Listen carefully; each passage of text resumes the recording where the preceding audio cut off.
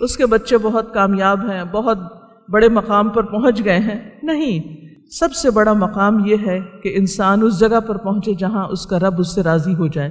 وہ جنت الفردوس تک پہنچے، وہ اپنے رب کا دیدار کر سکے۔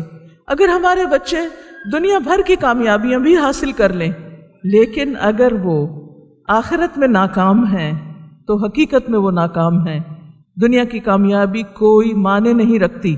جب تک کہ انسان اپنے رب کو راضی نہیں کر سکتا۔ اس کے لیے بہت ضروری ہے کہ جب ہم ان کی تربیت کریں، تو اپنے اس ویژن کو، اپنی اس سوچ کو، اپنے اس ارادے کو، اپنے اس شوق کو ان پر بھی واضح کریں۔ اور محبت کے ساتھ انہیں یہ پیغام دیں کہ ہمیں دراصل بننا کیا ہے۔ ہم کچھ بھی ہوں دنیا میں، لیکن ہمیں اپنے رب کا بندہ بن کر جینا ہے۔ یہ سب سے بڑا تحفہ ہے۔ جو آپ اپنے بچوں کو دے سکتے ہیں، کہ ان کو ایک صحیح ڈائریکشن دیں ان کو ایک صحیح منزل اور مقصد کا پتہ دیں کیونکہ اگر وہ اس کو نہیں جانتے، انہیں یہ نہیں پتا کہ وہ کیوں جی رہے ہیں دنیا میں، ان کا مقصد زندگی کیا ہے، تو پھر انہیں کسی بات کا بھی نہیں پتا وہ بغیر منزل کے گھوم رہے ہیں اور دنیا کی محبت میں گردش کرتے کرتے ایک دن وہ گردش ختم ہوگی، تو وہ اگلی دنیا کو جا پہنچیں گے، جہاں پھر وہ ہوگا جس کے بارے میں انہوں نے کبھی سوچا بھی نہیں ہوگا۔ اب اس مقصد کو حاصل کرنے کے لیے ہمیں کرنا کیا ہے؟ اس کے لیے بہت ضروری ہے کہ ہم سب سے پہلے اپنے بچوں کا اعتماد حاصل کریں۔ اور یہ اعتماد کیسے حاصل ہوگا؟ ان کے ساتھ ہمدردی، محبت اور بہترین سلوک کے ساتھ۔ جب ہم قرآن و حدیث کی کوئی ایسی بات پڑھتے ہیں کہ جس میں رحمت، ہمدردی اور محبت کی بات ہوتی تو ہم یہ نہیں سوچتے کہ اسے سب سے پہلے ہمیں اپنے گھر پر نافذ کرنا ہے، اپنی ذات پر نافذ کرنا ہے۔ ہم اوروں کے ساتھ پھر بھی نرمی سے پیش آتے ہیں، لیکن جو ہی ہم اپنے گھر والوں کی تربیت کا ذمہ لیتے ہیں، تو ہم ہم یہ سمجھتے ہیں، چونکہ یہ ہماری اولاد ہے، ہمارے بچے ہیں، ہمارے گھر والے، ہمارے اپنے ہیں، ہم ان سے جیسا چاہیں سلوک کریں۔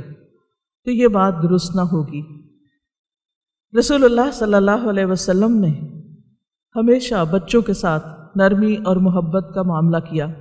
جب ایک بدو نے آ کر یہ کہا تھا کہ میرے دس بچے ہیں اور میں نے ان میں سے کبھی کسی کو نہیں چوما، تو آپ نے کیا فرمایا تھا کہ اگر اللہ نے تمہارے دل سے رحم چھین لیا ہے، نکال دیا ہے، تو پھر میں کیا کر سکتا ہوں؟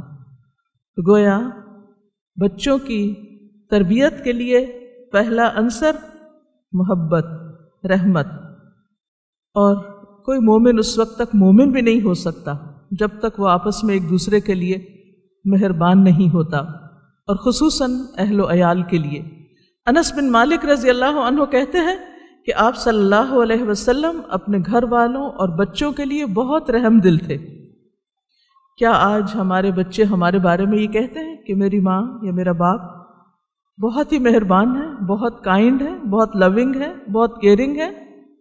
وہ ہمارے بارے میں کیا سوچتے ہیں؟ بہت سے لوگ جب دین میں آتے ہیں تو وہ اپنے بچوں کے ساتھ ناروا سختی شروع کر دیتے ہیں۔ وہ سختی ان کو توڑ دیتی، وہ سختی انہیں دین سے دور کر دیتی۔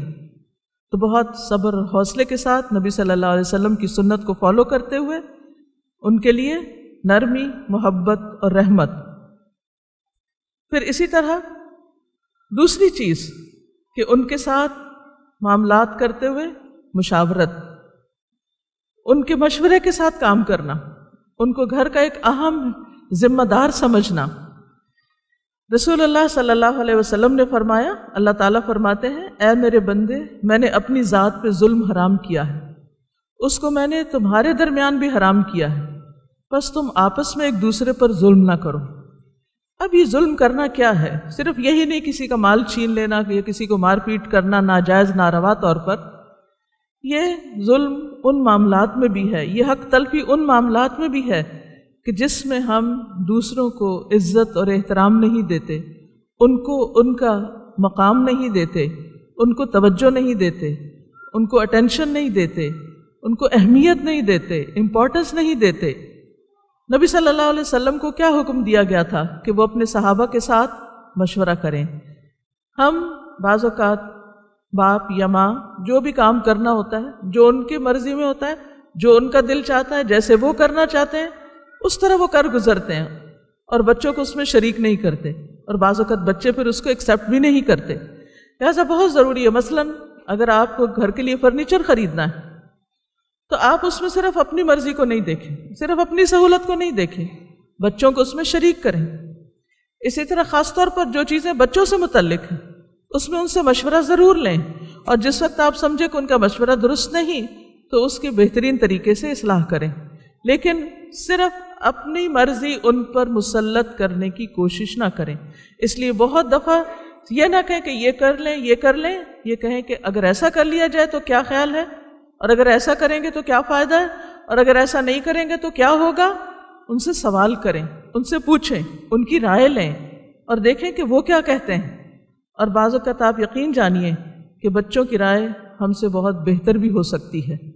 اور اس طرح زندگی میں انہیں بھی ڈسیزن کرنا آئے گا ڈسیزن لینا آئے گا، فیصلے کرنے آئیں گے۔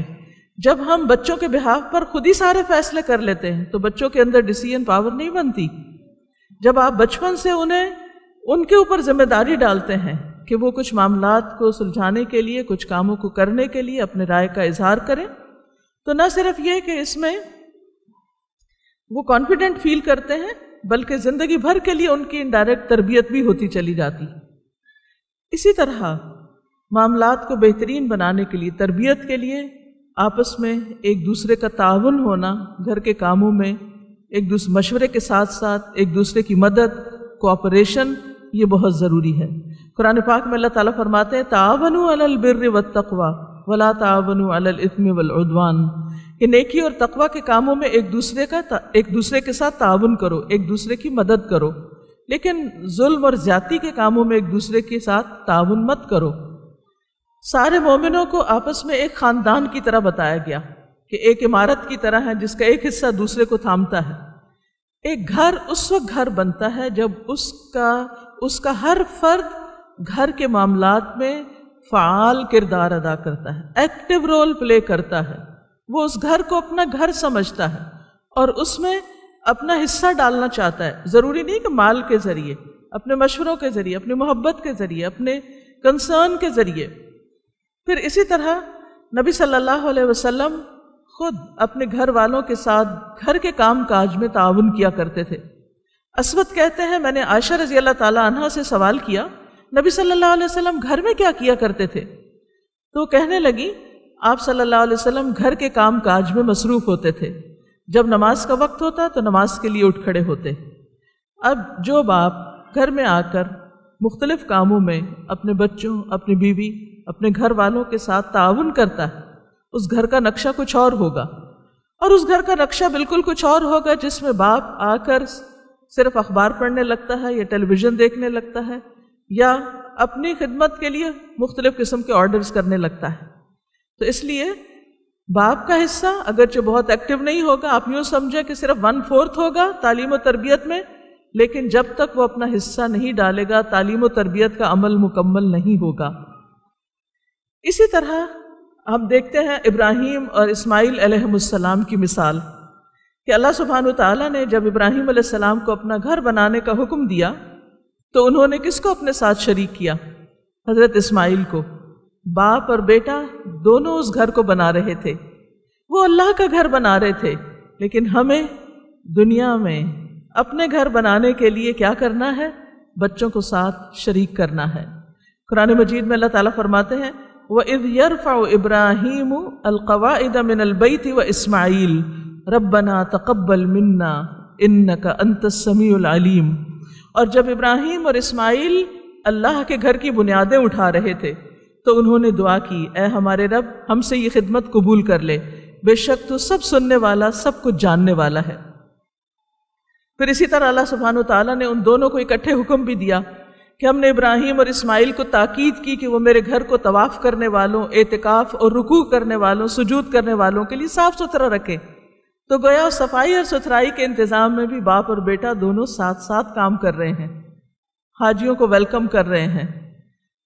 گھر میں خصوصی طور پر جب کام بڑھ جائے، لوگ آ رہے ہوں، تو اس میں سارے گھر والوں کو مل جل کر کام میں حصہ ڈالنا چاہیے، نہ کہ صرف ماں کو یا خاتون خانہ کو ہی سب ذمہ داری دے دی جائے اور باقی لوگ بچے کھیلنا شروع کر دیں۔ باپ اپنے کام میں لگ جائے۔ اور اس سے نتیجہ کیا ہوتا ہے؟ پھر خاتون خانہ برہم ہوتی ہیں ناراض ہوتی ہیں، غصے میں چیختی چلاتی ہیں بعض اوقات اور وہ سارا تربیت کا نظام جو ہے بگڑ کر رہ جاتا ہے۔ تو آپس میں محبت اسی وقت ڈیولپ ہو سکتی ہے جب بھاری ذمہ داریوں کو مل کر اٹھایا جائے، اکٹھے کام کیا جائے۔ پھر اسی طرح والد اپنے بچوں کی تعلیم میں کچھ نہ کچھ حصہ ضرور ڈالے۔ ٹھیک ہے، ماں ہوم ورک کروا رہی ہے اور کام کروا، گھر کے کاموں میں بچوں کو شریک کر رہی ہے، لیکن باپ تعلیم کے لیے ایک وقت ضرور نکالے۔ ہم اس میں دیکھتے ہیں کہ حضرت سعد بن نبی وقاص اپنے بچوں کو یہ دعا اس طرح سکھاتے جیسے معلم بچوں کو لکھنا سکھاتا ہے اور فرماتے کہ رسول اللہ صلی اللہ علیہ وسلم ان کلمات کے ذریعے نماز کے آخر میں پناہ مانگتے تھے یعنی دعائیں سکھاتے تھے اپنے بچوں کو اللہ انی اعوذ بک من الجبنی و اعوذ بک من ان ارد الى ارض العمری و اعوذ بک من فتنة الدنیا و اعوذ بک من عذاب القبری ہم میں سے کتنے والدین ہیں جنہوں نے اپنے بچوں کو، یا کتنے باپ ہیں جنہوں نے اپنے بچوں کو یہ دعا سکھائی ہوگی کہ جس میں بزدلی سے پناہ ہے، بڑھاپے سے، دنیا کے فتنے سے، قبر کے عذاب سے۔ اور یہ کانسیپٹس کتنے کلیئر کیے ہوں گے کہ ہمیں ان سب نقصان دہ چیزوں سے کس طرح بچنے کے لیے کس طرح دعائیں مانگنی ہے پھر اسی طرح نہ صرف یہ کہ باپ، بلکہ اگر گھر میں دادا دادی رہتے ہیں، نانا نانی رہتے ہیں، تو ان کا بھی فرض بنتا ہے کہ وہ بھی بچوں کی تعلیم و تربیت میں اپنا حصہ ڈالیں۔ حسن بن علی رضی اللہ تعالیٰ عنہ کہتے ہیں کہ رسول اللہ صلی اللہ علیہ وسلم نے مجھے وطر میں کہنے کے کچھ کلمات سکھائے اور وہ دعائے قنوت تھی۔ یعنی حضرت حسن بن علی نے یہ دعائے قنوت اپنے نانا سے سیکھی۔ ہم جو اس رول میں آ چکے ہیں، ہم دیکھیں کہ ہم نے اپنی اگلی نسلوں میں صدقہ جاریہ چھوڑنے کے لیے کیا حصہ ڈالا ہے۔ ہم نے ان کو کیا کچھ سکھایا ہے۔ اور یہ دعا مشہور دعا ہے اللہ مہدنی فی من حدیت و آفنی فی من آفیت و طولنی فی من طولیت اور یہ بھی یاد رکھیے کہ نبی صلی اللہ علیہ وسلم نے اس کو صرف رٹوایا نہیں ہوگا، بلکہ یہ بھی ضرور بتایا ہوگا کہ آفیت کیا ہوتی ہے، اور ہدایت کیا ہوتی ہے، اور برکت کیا ہوتی ہے۔ اور کیوں یہ اللہ تعالیٰ سے مانگنی چاہیے؟ تو اس لیے جب بھی ہم بچوں کو کوئی دعا سکھائیں تو صرف رٹوا نہ دیں، اس کے میننگ ضرور بتائیں۔ اس کے پیچھے ایک روح اور شعور ضرور دیں۔ اسی طرح ہم بعد میں بھی صلف صالحین میں دیکھتے ہیں کہ وہ بچوں کی دینی تعلیم و تربیت کا کیسا اہتمام کرتے اور آپس میں کس طرح تعاون کرتے۔ ابن مبارک جب اصحاب حدیث کے بچوں کو دیکھتے، جن کے ہاتھوں میں قلم دوات ہوتی تو وہ انہیں قریب کرتے اور کہتے کہ یہ دین کے پودے ہیں یعنی آج ہم انہیں گرو کر رہے ہیں۔ جن کے متعلق رسول اللہ صلی اللہ علیہ وسلم نے ہمیں خبر دی ہے کہ ہمیشہ اللہ تعالیٰ دین میں ایسے پودے لگاتا رہے گا۔ جن کے ذریعے دین کو مضبوط کرے گا۔ تو آج ہمارے بچے جن میں ہم انویسٹ کریں گے، یہ کل ہمارے دین کو مضبوط کرنے کا ذریعہ بنیں گے۔ ہمارے لیے بہترین صدقہ جاریہ بنیں گے۔ وہ کہتے آج یہ چھوٹے ہیں۔ قریب ہے کہ تمہارے بعد یہ بڑے ہوں گے۔ جیسے ہم کبھی کل چھوٹے تھے اور آج ہم اپنی ذمہ داریاں نبھا رہے ہیں۔ آج ہم اپنے بچوں کو چھوٹا دیکھتے ہیں، لیکن کل ہماری جگہ وہ ذمہ داریاں نبھانے والے ہیں۔ خواہ وہ ہمارے بچے ہیں یا ہمارے آس پاس دوستوں رشتہ داروں، سب کے بچے، سب کے بچے ہمارے ہی بچے ہیں۔ پھر اسی طرح اسماعیل بن رجا جو تھے، وہ بچوں کو اکٹھا کر لیتے۔ یعنی اوروں کے بچوں کو بھی اکٹھا کر لیتے اور انہیں احادیث سنایا کرتے تھے۔ یعنی جس طرح آج کل مختلف گیدرنگز ہوتی ہیں، بچوں کے پروگرامز ہوتے ہیں اور ان کو سکھایا جاتا ہے، تو پہلے دور میں بھی خاص طور پر ایکسکلوسیولی بچوں کے لیے علمی مجالس ہوا کرتی تھیں۔ اسی طرح جو بچے کھیل کود میں ہوتے ان کو بھی تعلیم اور احادیث سننے کی ترغیب دی جاتی۔ ابو ابو جعفر کہتے ہیں کہ میں بچوں کے ساتھ مٹی میں کھیل رہا تھا اور میں مٹی مٹی ہو گیا تھا یعنی خوب کھیل کود کے بالکل مٹی میں لوٹ پوٹ ہو گیا۔ میں بچہ تھا اور حدیث نہیں سنا کرتا تھا یعنی حدیث کی جو مجلسیں ہوتی تھیں جن میں والدین اپنے بچوں کو لے جایا کرتے تھے، تو کہتے ہیں کہ میں تو نہیں جایا کرتا تھا۔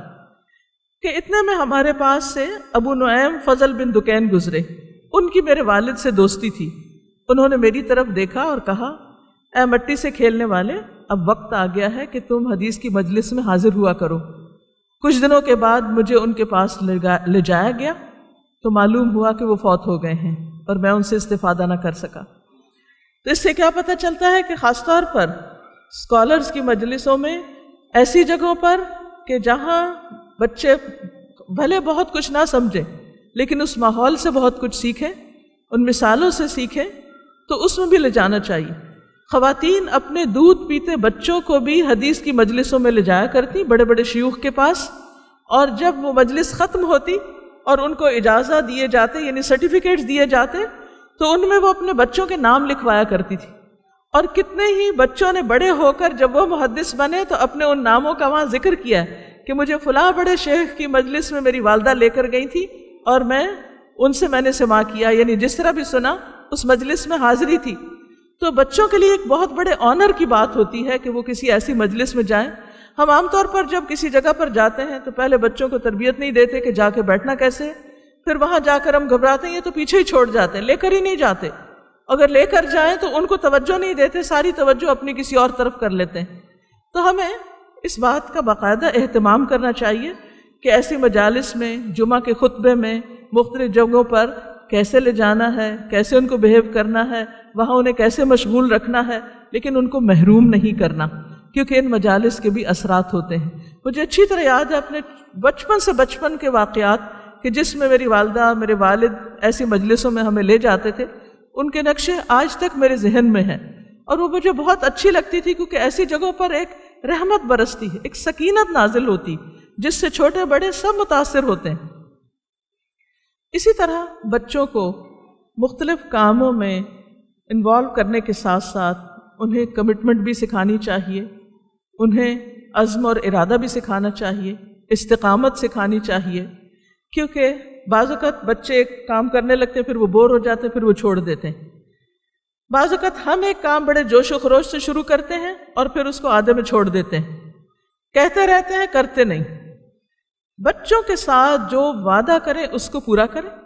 بچوں کے ساتھ جو کام شروع کریں ہاں انہیں نماز سکھانا شروع کریں یا پڑھانا شروع کریں، نماز پڑھانا یا قرآن مجید سکھانا یا دین کی کوئی بات سکھانا، خواہ وہ تھوڑے سے وقت کے لیے کیوں نہ ہو، لیکن اس کی پابندی اور کمٹمنٹ ضروری ہے کہ چھٹی نہیں، چھوڑنا نہیں۔ بہت سی مائیں کہتی ہیں، نماز پڑھنا کیسے سکھائیں؟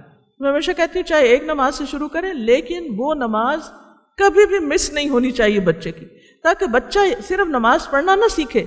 یہ بھی سیکھے کہ نماز کی پابندی کتنی ضروری ہے۔ پھر کچھ عرصے کے بعد ایک اور نماز کا اضافہ کر لیں، پھر اس کے اس کے اندر اس کو پابندی سکھائیں۔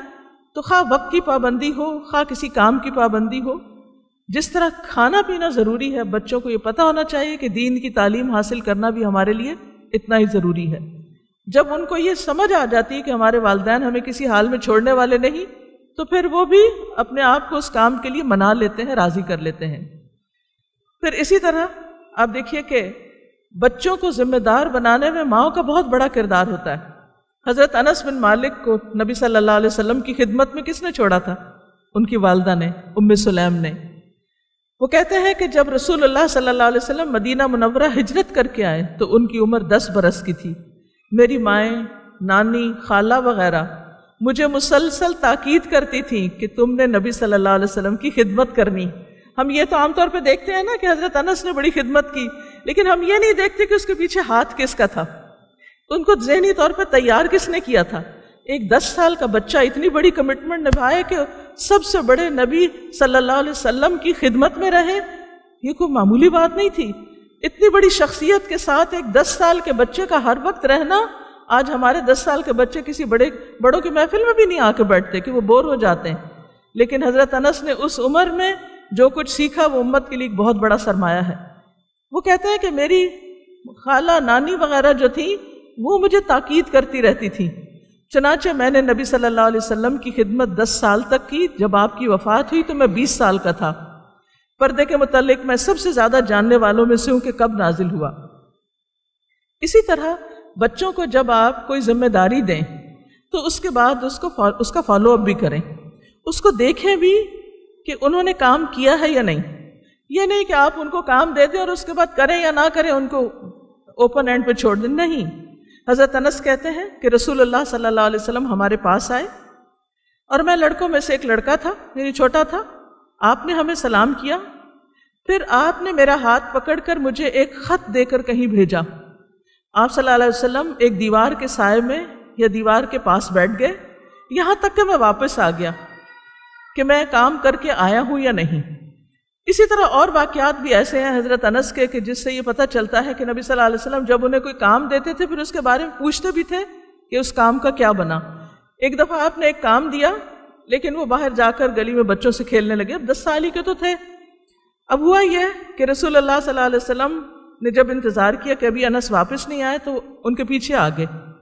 دیکھا کہ وہ تو گلی میں کھیل رہے ہیں۔ وہ انس کہتے ہیں کہ آپ نے میرے پیچھے میری گدی سے مجھے پکڑا۔ جب میں نے دیکھا تو آپ مجھے دیکھ کر ہنس رہے تھے۔